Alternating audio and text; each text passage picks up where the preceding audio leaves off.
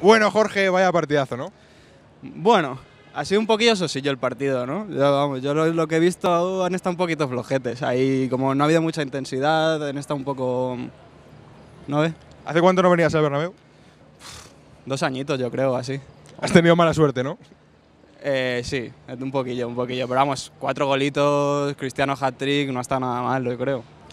Pero Cristiano hat-trick, pero parece un poco que el Madrid hoy se ha encontrado los goles, ¿no? O sea, a Benzema le queda un gol así. Primero de rebote, eh, dos penaltis, una expulsión, no sé, ha sido bastante. Todos los goles han sido un poco encontrados, sí, la verdad.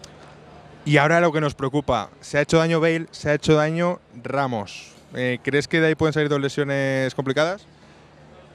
No lo sé porque ya te digo que no me he enterado mucho desde el campo, pero esperemos que no sea que no se líe porque esos centrales, el central es importantísimo, Ramos es importantísimo y Estabas a otra cosa, ¿no?